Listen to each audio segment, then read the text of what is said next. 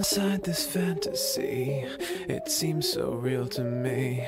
Synthetic ecstasy when her legs are open. True life behind the wall, where men and angels fall. A fading memory when my mind is frozen.